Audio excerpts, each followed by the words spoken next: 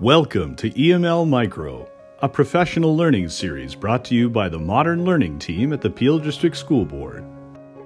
Today we plan to revisit coding with an overview of computer sciences, fundamental concepts, and possible entry points for your modern learners. Coding is a crucial part of our modern world. It can be found in many everyday items, such as kitchen appliances, cars, smart home devices, and toys, as these require computer programming to function. Coding is a process of writing a precise set of instructions for computers to follow in order to complete a task. The language that a computer speaks is binary, which is a mathematical language of ones and zeros. The important process of solving problems in computer sciences is termed computational thinking.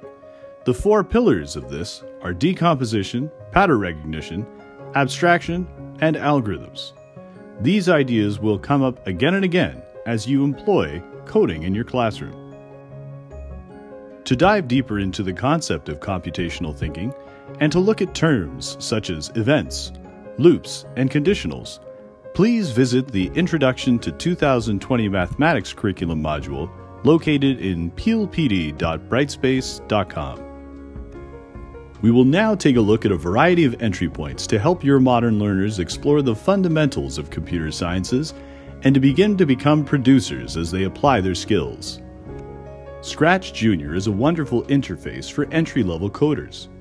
Its block based coding environment relies heavily on visuals and provides entry points for all learners. This app is available on iOS and Android devices. For inspiration and teaching pathways, please visit scratchjr.org. The next step to consider with modern learners would be Scratch, a more sophisticated visual programming environment, which has a low floor to entry but a wide array of possibilities to make very complex programs. Visit scratch.mit.edu to consider your pathways to access and to start coding right in your browser. The Scratch website will provide you with inspiration and tutorials about what to create with code.